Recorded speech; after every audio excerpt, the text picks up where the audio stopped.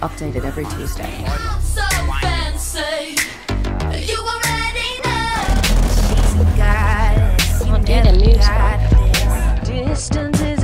Follow Dixter New Music to stay in the Oh! Dixter UK profile for more